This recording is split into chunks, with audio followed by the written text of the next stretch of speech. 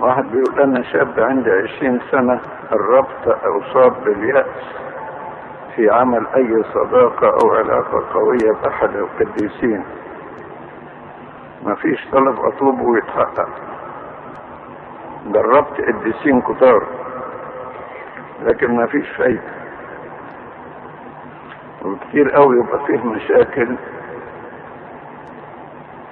وكون محتاج ليد قوية وما تكونش يد بشرية وبطلب من القديسين لكن ما فيش أي استجابة. مع العلم ما فيش أكثر من معجزات وعشرات القديسين اللي بقعد أحكي لهم الناس. بمعنى أصح أنا بحبهم جدا وبحكي عن معجزاتهم لكن ما فيش حد بيحبني منهم.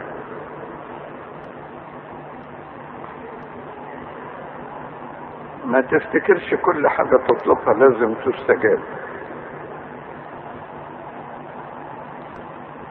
في حاجات لا يستجيبها ربنا لأنها مش من صالحك.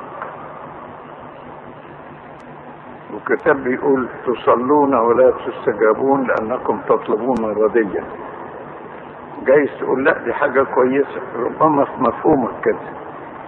لكن نسبة للخير ربنا يشوف غير كده.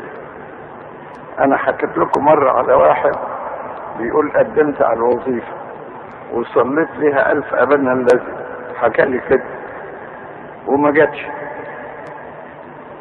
وبعدين ربنا رزقني بوظ- بوظيفة أفضل شعرت بيها إن لو استجاب للصلاة الأولى ما كانش من صلاة.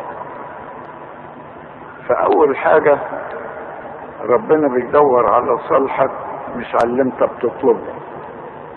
وثانيا ربنا بيستجيب في الوقت الذي يراه مناسبا. يعني إبراهيم اب الاباء طلب ابنه وربنا فعلا كان في نيته إن يديله ابنه واداله ابن فيما بعد. لكن قعد لغاية ما بلغ عمره 100 سنة على بال ما اداله الابن. صبر. في الوقت المناسب ربنا بيستجيب الصلاة يبقى شرط للصلاة واحد تكون حسب مشيئة الله. ثانيا تستجاب في الوقت المناسب. ياما ناس بيطلبوا طلبات وربنا ما يكونش موافق عليها.